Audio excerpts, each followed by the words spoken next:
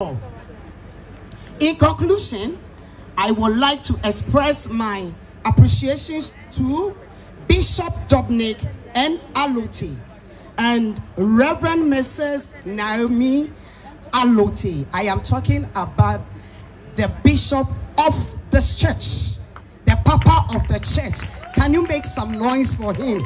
Because he's watching us.